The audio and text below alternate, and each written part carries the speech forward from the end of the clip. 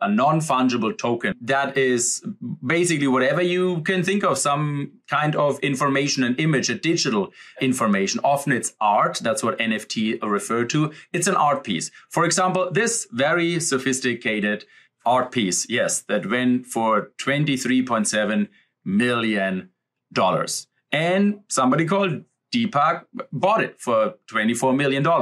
And now he really owns that thing. Now, this is Deepak has the property right of that image. So there can be many copies of that image. I could just now take a screenshot. Actually, I took a screenshot and put it here into my slide deck. So, but that doesn't mean I own the image. Same as I can take a picture of the Mona Lisa. That doesn't mean I own the Mona Lisa. The state of France owns the Mona Lisa. So the property registration system says the state of France owns the Mona Lisa, uh, same as Deepak owns this picture. Even so, I copied it and put it on my slide deck. I mean, I just made a copy. But when push comes to shove and somebody asks who owns it, well, we look on the blockchain and the blockchain registers who has the property for it. And here you can put, you know, in who owns what basically. And there are many others art pieces. For example, this clock, it's a clock that counts how long Julian Assange, a WikiLeaks founder, has been in prison. It was sold for over $50 million. And this year, the merge was sold for $90 million.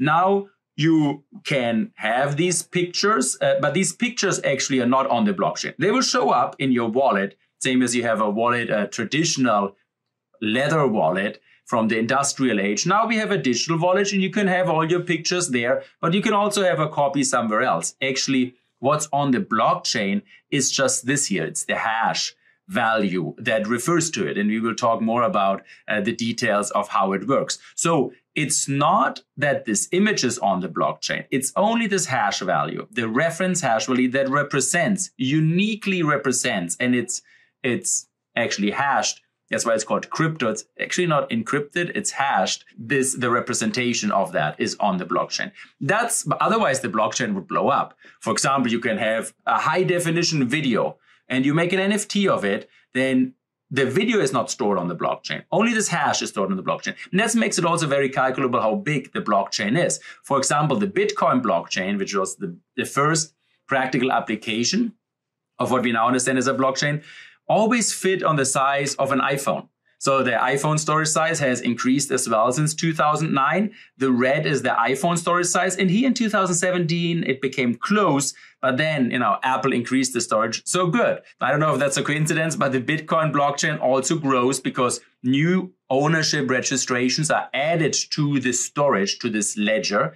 But it always fit on, so the entire Bitcoin block, if it would be full of videos and images, it wouldn't fit on a phone. But it only consists of these hash and they are stored on the blockchain.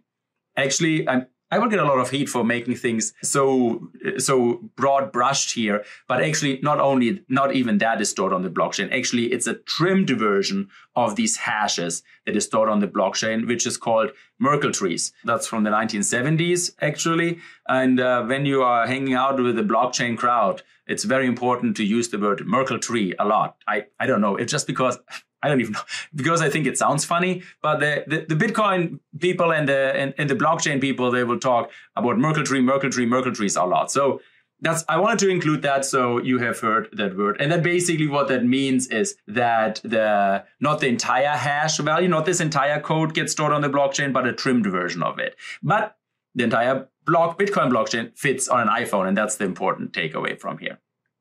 Now, what I put into there is, is up to me. I can put whatever data I put in there. For example, I can put information of a scan of a unique diamond and its history on here. That's what some people have been doing. Now, can I put the diamond on the blockchain? No, you don't put the diamond on the blockchain, but you can scan the diamond. And once it's information, once it's a digital product, you can put that and I put that in here and then I mint it, I mine it. But actually, what I store on the blockchain is this unique reference to it, all this gibberish down here that usually starts with a bunch of zeros.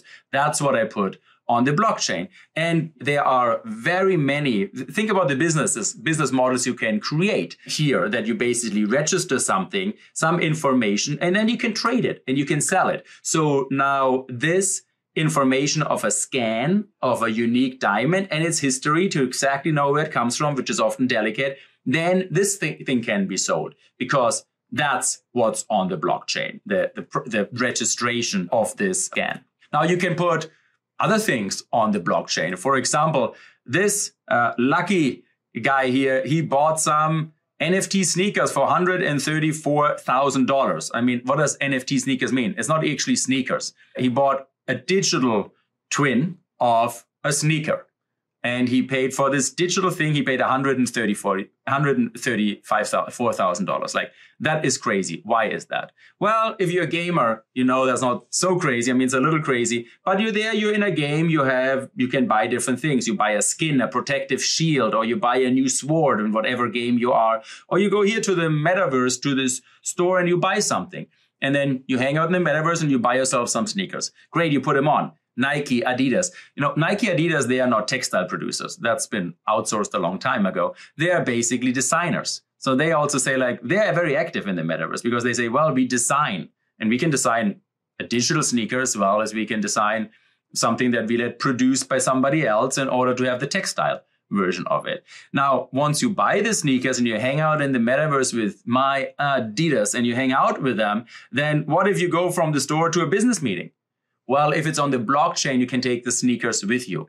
So this up here, that might be, I don't know, a metaverse Amazon store, and this might here be the Microsoft Teams or the Facebook meeting room. I don't know, it might be different platforms that you go. But once it's on the metaverse, you take the property with you. So you take the property of the sneaker with you, and that's how the blockchain and the metaverse actually intersect.